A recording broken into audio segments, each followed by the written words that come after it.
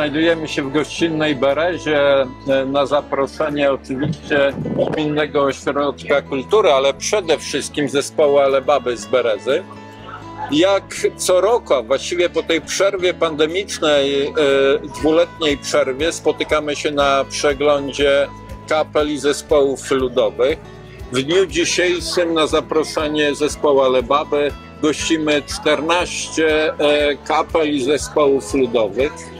To jest bardzo istotne i ważne, że zespoły ludowe podnoszą e, ludowość związaną z terenami, z którego e, pochodzą. To raz, a dwa, są nośnikami tradycji naszej, pielęgnowanej przez babcie, mamy i teraz kolejne pokolenia warto pielęgnować tą tradycję, bo ona jest piękna, bo ona jest nasza, bo ona opisuje ziemię bialską, ziemię międzyrzecką.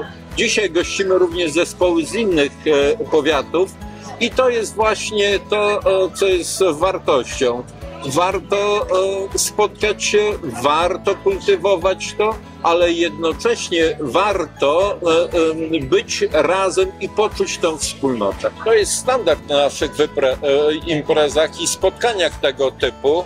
Staramy się organizować te spotkania w sposób otwarty, nie tylko ukierunkowane na zespoły ludowe, ale również na mieszkańców i tych, którzy lubią ludowość lubią e, występy zespołów e, i lubią tą tradycję naszą międzyrzecką podlaską.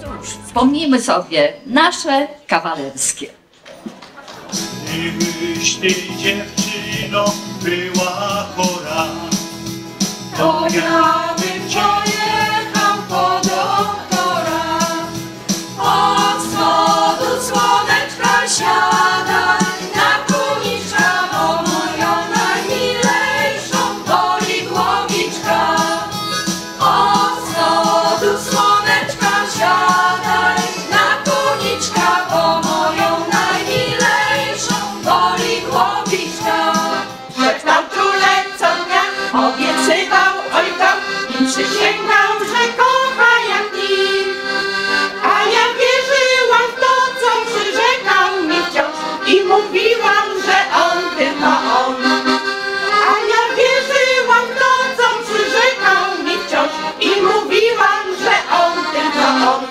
Organizatorami dzisiejszego wydarzenia e, są Gminny Ośrodek Kultury w Międzyrzeczu Podlaskim z siedzibą w Wysokim, e, który mam przyjemność prowadzić, e, ale nade wszystko oczywiście niesamowici, niesamowite mieszkanki Berezy, członkinie zespołu ludowego Alebaby z Berezy. Warto też nadmienić, że po trzech latach przerwy zespół ludowy Alebaby z Berezy wrócił do tradycji przeglądu kapel i zespołów ludowych wrócił e, do zapraszania do Berezy, z czego bardzo, bardzo się cieszę e, i mam nadzieję na dalszą owocną współpracę. Pragnę w imieniu organizatorów złożyć bardzo serdeczne podziękowania wszystkim osobom, które wsparły organizację dzisiejszego wydarzenia.